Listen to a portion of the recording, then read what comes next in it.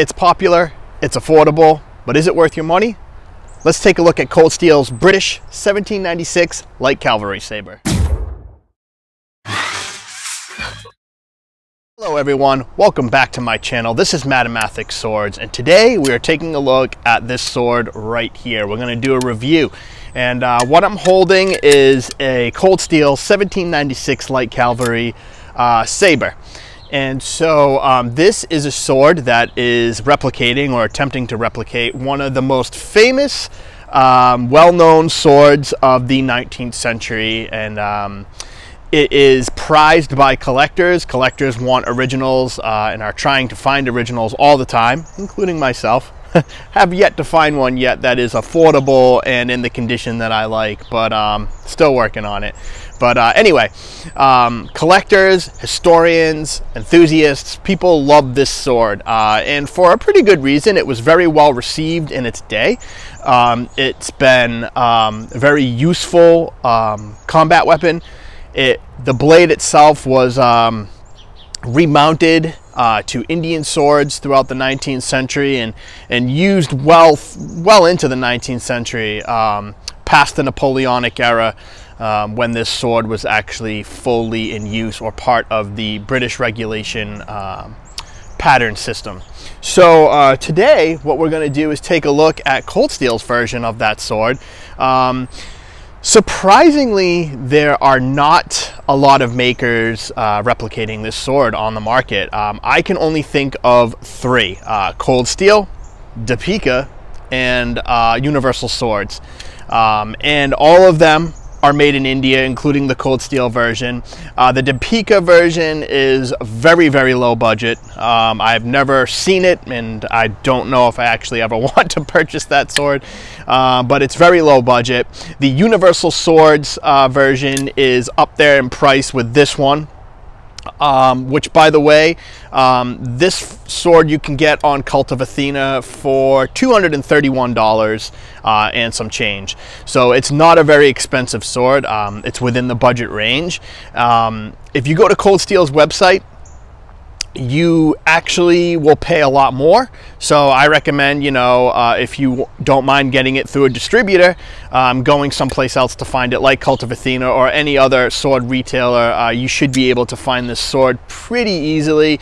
Um, due to COVID and whatnot, it might be backed up in production and might be on back order, but you should be able to find one of these for well under $300, probably well under $250. I actually have seen them on sale at certain places for $200. Um, and we'll talk about whether or not I think that's worth it at the end of this video. But um, let's get into the review. So uh, as you guys know, I am a big fan of um, military sabers of the 19th century. If you've seen some of my other videos, you know that I own um, a few original antiques. And although I do not own an original antique of the 1796 light cavalry pattern, I do own um, a scaled down version of this sword. Um, this is a 1796 style um, blade of the era. Um, this one's made by Francis Deacon, who was a well-known maker of 1796 light cavalry sabers in the Napoleonic era um, and after. Um, and this is basically a scaled down version for an infantry officer to, meant to be used on foot. But it has essentially a 1796 blade.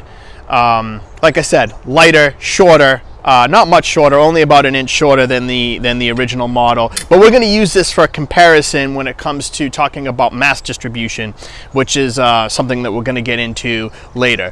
Um, this is a very good example of this type of blade um, in the era of swords that we're talking about here. So, uh, like I said, although I don't own an original 1796, that will be useful for uh, comparisons to some degree.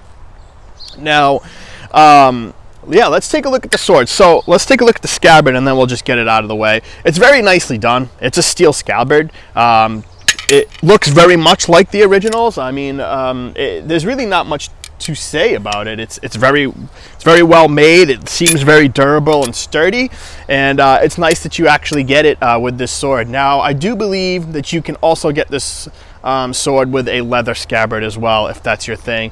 I like the steel scabbard because most of the 1796s that you see uh, on the market, the originals have uh, steel scabbards. So let's get rid of the scabbard.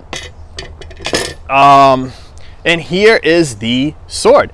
Um, it looks very much like an original 1796, I have to say, um, from at least from the pictures that I've seen. Um, please mind, don't mind the staining on the blade. That was from the test cutting that I did, and I haven't uh, polished it up and cleaned it um, very significantly yet to put it away. So uh, yours presumably will come without the staining and whatnot if you decide to purchase this sword. But um, yeah, aesthetically speaking, it is um, a very nice looking sword. It has pretty much all of the features and design elements of uh, an original 1796. And I do have to say, I think Cold Steel did a fantastic job with the aesthetics of this sword. Um, and just speaking about the general fit and finish and build quality of the sword, it's very, very good. Um, it does not feel like a cheap sword at all. Uh, everything is very tight. Uh, the tolerances are very tight. There's basically no gap in the crossguard down here uh, where the blade meets the crossguard. Um, the blade is very straight. There is a very slight it's a very, very, very slight wobble uh, in the edge of the blade, but it, it is not, it's not really significant uh, to make probably a difference in your cutting. So um, uh, if you look along the flat, you do see some rippling, but once again, um, if you look at originals, you see rippling, and this one is basically very nicely done. Um, the hilt construction is a nut construction, right here, um, which is not historically accurate for the most part. I believe most of these uh, in the original form were of a peened construction. Um, and my version down here, the, the light infantry version uh, that we're going to take a look at is a peen construction as well. But they do give you a leather wrapped grip, um, which is actually really cool because a lot of cold steel swords um, of the historical era come with faux grips, either faux shark skin uh, or ray skin or what we call shagreen, uh, or faux leather or plastic. Um, and uh, it's very nice that with the 1796 model, they give you um, a real leather grip just like the originals. And um, we'll talk about how comfortable that grip is in a minute when we get into the review. But overall, the aesthetics of this sword are very, very good. Um, I believe they essentially they nailed it um, with the aesthetics. Um, now, in terms of the dimensions and the mass distribution and whatnot, um, it's different than the original. Um, and we're, we're going to talk about that in a minute uh, when we talk about how the sword handles. But let's let's take a look at the blade. Um, I believe Cold Steel uses a 1060 um, high carbon steel for this blade. Um, and this is, you know, they do a very good job in India with the 1060 carbon steel um, and 1055. Um, so uh, it, it's very durable. The edge sharpness has held up very, very good uh, throughout the test cutting. And this is very sharp, guys. I, I actually put my own edge on it. The edge that it came with was not particularly good, um, and I didn't expect it to be. Um, a lot of these swords that come out of India come out blunt and then they are sharpened by different uh, distributors and manufacturers. This one was probably sharpened by Cold Steel. Um, however, it, it, had a very large secondary bevel um, and the originals did have secondary bevels so it's not hi historically inaccurate. Uh, however, it was it, it needed some fine tuning to get it to be super sharp and you know, most of the swords that I get, um, I do my own sharpening on anyway. So for me, that's not a big deal. For someone who's not really good at sharpening, that may be something you may want to consider when looking at this. Um, you may have to find someone to put a really nice edge on it. But but the factory edge did cut, albeit not very well. But um, Anyway, so the blade um, is actually um, very nicely done. It has this large central fuller. Um, I don't know if you guys can see it with the glare, just like the original, um, up to the what they call the hatchet point right here. Um, that's this portion of the blade. Uh, the point is situated towards the back edge of the blade. Um, and this is primarily to assist in cutting with this portion of the blade right here. So it gives you um, more of a better cutting surface uh, or edge and mass up here um, than traditional swords that don't have such a wide blade up here. Um, it is in fact wider here than it is here and that is a design feature of the 1796 that actually makes it uh, a very effective slasher, chopper, and cutter. Um, as you can see, not very good for uh, not very good for for thrusting. I mean, it would be very difficult to thrust with this thing. Can you do it? Yeah, um, but if I hold the sword out like this, you can see that the point is not on line. It is curved. Uh, optimized for cutting, not for thrusting.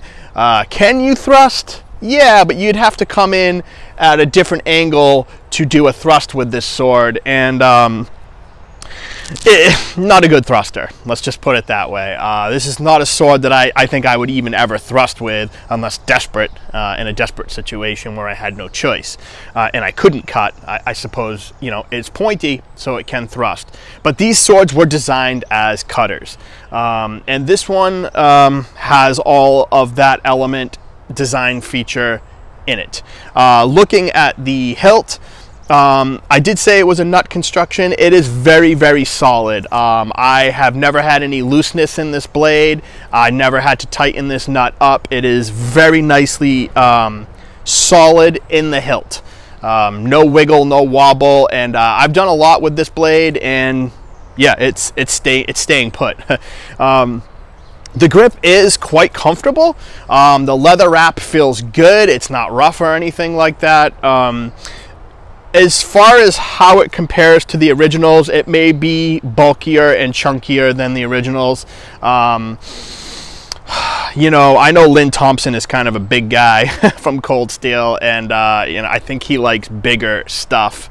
Um, so I think all of his swords are designed to be, you know, slightly bigger than the originals, and um, you can kind of feel that the grip is uh, bulkier. So I, I, feel like if it were a little bit thinner um, and more historically accurate, it'd probably be more comfortable for people with smaller hands like me. I mean, I wear about a medium glove size, and so it's not that this grip is uncomfortable in any way, it just would be better suited for me if it were a little bit um, thinner uh, like the originals are. But generally speaking, it's it's it's very good. I actually really like the grip. There's no hot spots. Um, these ears right here are historically accurate. I don't think they are historically accurately done though, um, because there looks like there's like faux rivets here, and I think the originals were actually riveted through the tang um, for more secure grip construction. But, you know, it's nice that they actually included the ears and they are very nicely done and that does not create a hot spot when you're using the sword or swinging it around at all. I actually find the grip on this sword to be very comfortable. Um, yeah, so let's get some uh, stats out of the way and then we'll talk about handling of the weapon. Um, this thing weighed in at, let me just look at my stats, 944 grams on my scale. And that is surprisingly for a reproduction saber on the market, accurate. uh, it's not overweight. It's not underweight. It is, um, many of these originals weighed in between 900 and 1,000 grams. Um, and how do I know that? If you go over to, um, I think his name is Nick Thomas at the Academy of Historical Fencing. He has a channel on YouTube, Academy of Historical Fencing, uh, where he does a video where he goes through and uh, basically goes through all of the dimensions of an original 1796, including weight, and uh, his come in and around that weight. Also, uh, Matt Easton at Scholar Gladiatoria channel um, has a wonderful video where he goes through and weighs uh, a bunch of Napoleonic era swords, including multiple 1796s, and um, they all come in in this weight range. So uh, the weight is correct. Um, as far as um, distal taper on the sword, uh, which is a big part of the story in terms of how swords handle, as we know, um, it does have a considerable degree of distal taper. Now, is the distal taper correct? Well, we're going to talk about that. Um, this one I measured at 7.8 millimeters down at the very, very base, and as you make your way up to the tip, uh, we're talking 2.7 millimeters at the very tip. Um, so it does have distal taper and um, um, it's nice that it's there. It actually makes the sword um, usable as a weapon. Uh, swords that don't have distal taper, um, at least military sabers that don't have distal tapers, feel like uh, the term commonly used is a crowbar. Um, and this does not feel like a crowbar. This actually feels like a cavalry saber. Um, it's tip heavy. Um, it is not a light sword, um, but it's not unwieldy.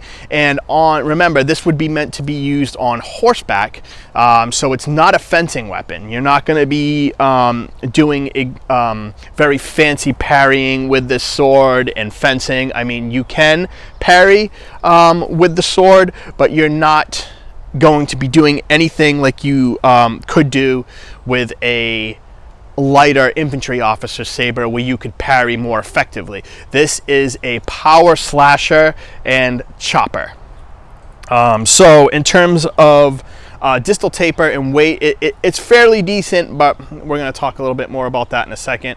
It does have a 32 and a half inch blade, which is um, original.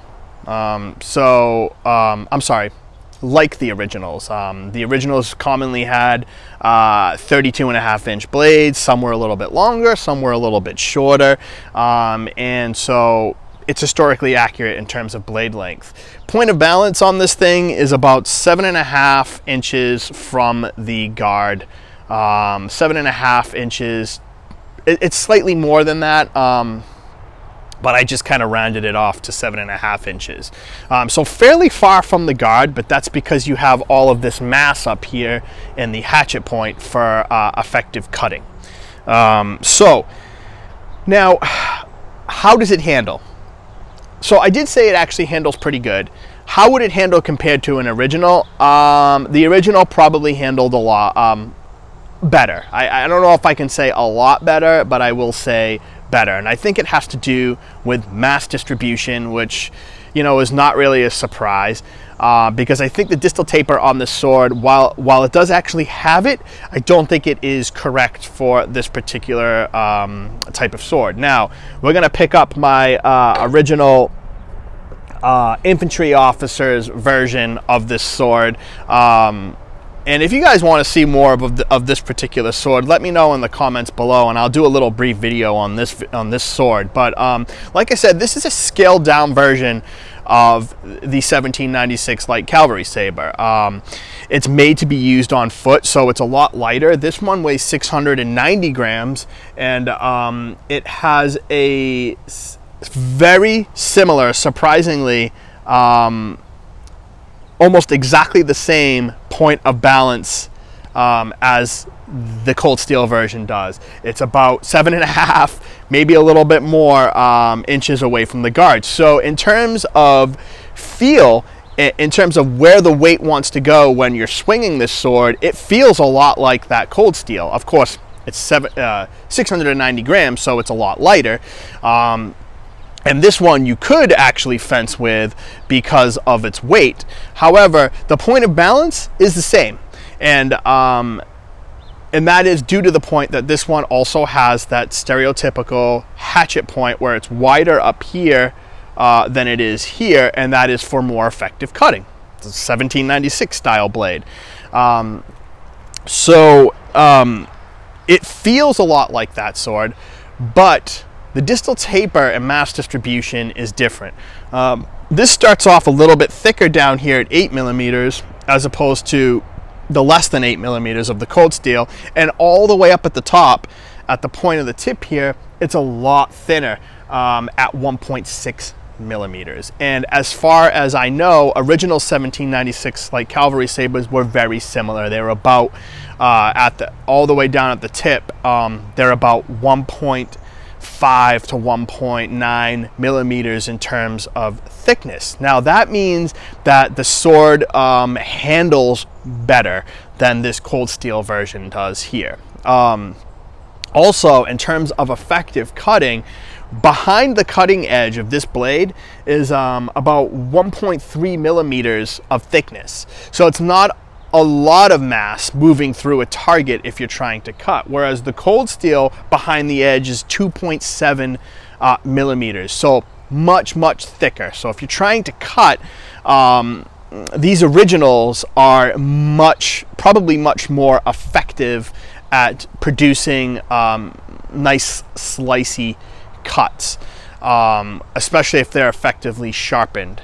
And so while this is not a 100% um, original example of a 1796, in terms of distal taper and dimensions, it's very, very similar to an original 1796. And um, as far as I know, the original 1796s have uh, something like 9 millimeters to 10 millimeters of um, thickness at the base, going all the way up to just like this sword here, about one and a half at the tip.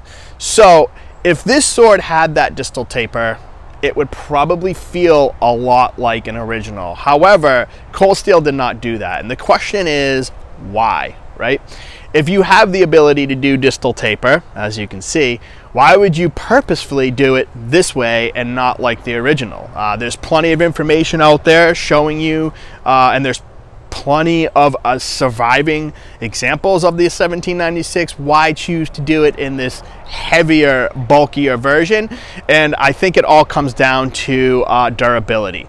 The way these swords are marketed um, is, in my opinion, ridiculous. Um, but they got these big, strong guys hacking and chopping things up. If any of you guys have ever seen a cold steel uh, marketing ad, uh, Lynn Thompson himself is a big dude. Um, he, he's very strong, presumably, and these guys are hacking and chopping through things like like you've never seen uh, with these with this sword. And um, presumably they think you're going to buy it and you're going to go try to do the same thing. You're probably going to go, you know, someone who's not a very experienced swordsman or doesn't really study this kind of stuff is probably going to take this thing out in the backyard and try to chop down a small tree with it based on um, you know how cold steel markets these things so um, they want to focus on durability um, as opposed to um, historical accuracy and I think that's an area where this sword falls flat um, because the original swords were made that way for a reason uh, in terms of combat. Um, not so much focused on durability, but how is this the sword going to be as a weapon? Um, now, as far as this sword being a weapon, this is a fine weapon. I, am not going to say it uh, that it's a terrible weapon. This sword would be brutal in a uh, hand-to-hand -hand conflict. I'm just saying um, it's not handling like the original. And I think they made that compromise based on durability. If it's thicker up here, it's less likely to bend, it's less likely to break, and they know that their customers are gonna abuse the crap out of these swords. Um, so yeah, there you go. Um, and generally speaking though, it, it's not terrible. Um, I've felt reproduction sabers that don't feel this good. And this one is not that bad. Um, better than I expected. Let's just put it that way. So yeah, um, let's take a look at some of my test cuts and then um, I will give you my final opinion of the sword and whether or not I think that it is, is it's, it's whether or not it's worth your money. All right, let's take a look at the cutting.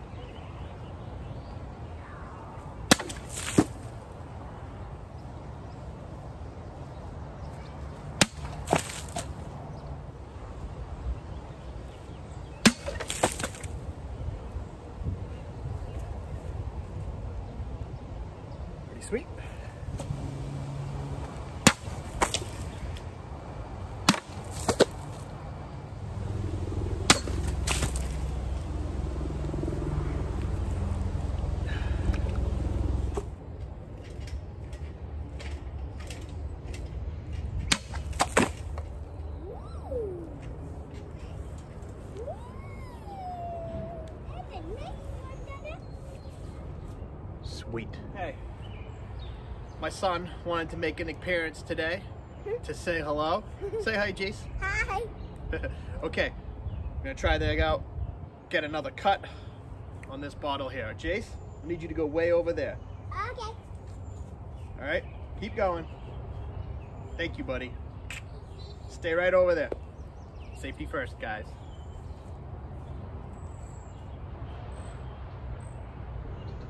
That's a nice fight. Dad, that got all over your phone.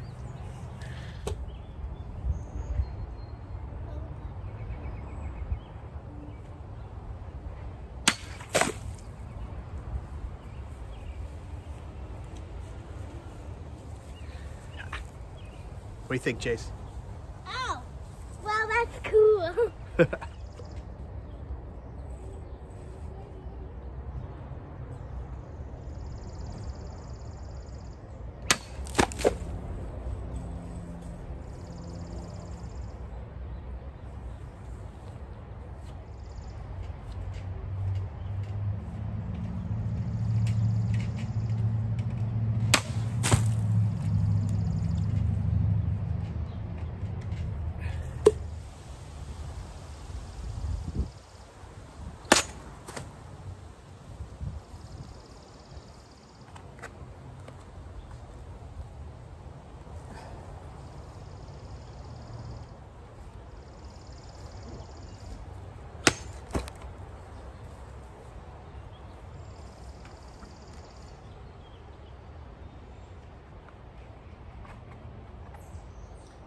that? Ah. Almost all the way through.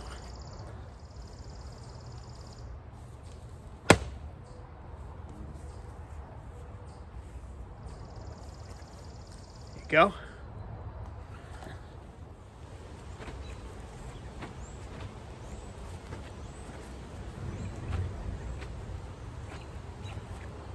All right, folks, there you go. There's the cut testing. Um, and now I will say that this sword um, takes some time to learn how to use. Um, it has a lot of mass up here. It is very significantly curved, and that creates some weird movement in the hand uh, when you're, or in the blade when you're trying to swing this thing. It, it, it doesn't feel like a straight blade because it's not, and it does have all this mass up here. So it took me a while to learn um, how to effectively cut with this thing, and um, after I put my edge on it and got to swing it around and get more comfortable with this, um, I learned how this thing likes to cut.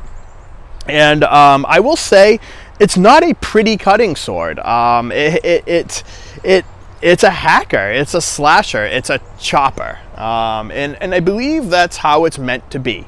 Um, you, are not going to, well, I've already discussed this, you're not fencing with this sword, you're doing heavy chopping cuts and slashes uh, from horseback. So um, my tests, well, obviously I don't have a horse, um, but my tests were done on foot, um, and I can tell that this sword just really wants to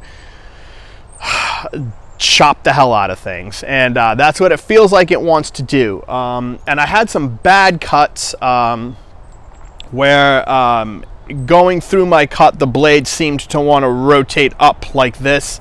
Um, so if a good cut comes down this way, uh, one of my bad cuts, I tried to do this in the in the cut. Um, it just naturally feels like it wants to do that for some reason. Um, also, if I'm coming down in the cut and trying to come back to guard, um, it, it, it, feels like it wants to tip upwards like this, which messes up your edge alignment in the cut. Um, so I had to sort of compensate for that while cutting with this. But um, it, it's a brutal cutter. Um, it is. Um, it's, it's not a fine cutter. It's just a brutal cutter. Um, big, deep gashing wounds I imagine that this thing would cause, um, historically speaking. yeah, so it's, it's fun to cut with. It just takes a little bit of practice. Um, so if you are thinking about getting this for some backyard cutting, be prepared to spend some time trying to get used to how the sword is weighted Um, I find sabers particularly difficult to cut with, um, as opposed to say katanas or, or medieval swords. Um, and I think it has a lot to do with what you expect the sword to do. You know what kind of results you want to get out of it. Um, this thing is not going to be a super effective tatami mat cutter unless you are incredibly trained and well you know, well trained, uh, like a competition cutter or something. Like, um, what's that guy's name? Aikidoka. Oh, go check out his channel, guy. He's, this guy's an amazing cutter. Um, but you know, he could cut tatami no problem with this. Someone like me, it's it's, it's much more difficult to do. Um, but once again, this is not a tatami cutting sword. This is a brutal chopper, and um, as a brutal chopper, I think it's pretty good. Um, now, my final opinion of the sword, um, whether or not I think it's worth your money, I actually do. And the reason is it's very affordable. And, and you know, until someone comes on the market and makes a 1796 light cavalry saber that is proportionally just like the originals, this is a very good option to have if you want to enjoy the features and aspects of this type of sword um, and, and use it to just have some fun doing some cutting and get into the history of this weapon. Um, I think it's for $230, it's worth it. it. If you go to the Cold Steel website and you try to buy that thing, it's definitely not worth it for over that price. Um, I, I think, but but for the price range that this is in, I actually think that this is a pretty good sword to, to, to use. Now, I want you guys to keep in mind a few things. Uh, Cold Steel has a reputation uh, in the HEMA community and in the distinguished sword collecting community. Cold Steel is basically considered crap um, because they don't make swords um, that are historically accurate um, 100%. Uh, but in, they also have a pretty decent reputation uh, among backyard cutting community because of their durability. Now, my general opinion is I think cold steel is pretty good for the money. Um, they're not perfect swords. They're never going to be. Um, they do a pretty good job at providing you a product that uh, gets you interested in the history of the weapon and gets you out using it. Um, and generally speaking, I think they make pretty decent swords. Um, keeping in mind the money, and, and, that is that is a key factor. If this were a $500 sword, I would probably say nah, pass on it. But for 230 bucks, it's a 1796. it's pretty cool, and um, I like it. Um, I think it could be better in many ways. The distal taper, uh, maybe a real peened construction to sort of match the original, a thinner grip. Um, you know, um, but you know, for what it is, it's pretty good. So I do recommend it um, if you do want a sword um, in the 1796 uh, style to enjoy this legendary blade. Well, thanks for joining me today, folks. Uh, if you liked what you saw here today on this channel, do subscribe to the channel. Uh, do leave a like. Do leave a comment. I love talking to people about this kind of stuff. And uh, if you are interested in purchasing this sword, I'm not going to put a link down below to where you can get it like I usually do because it's pretty ubiquitous. You can get it in many places, eBay, Cult of Athena. Um, I did mention the Cold Steel website, but I don't I don't recommend you get it there to save some money. Um, you know, you can find it all over the place. It's not hard to find, so I'm not going to put a link down below. But um, yeah, so please, um, you know, let me know what you guys think of this sword. If you guys have one, if you guys had similar experiences, let me know. And um, yeah, look forward to another review coming up. I got a bunch of stuff lined up that I'm working on. And um, yes, I hope you enjoyed this video.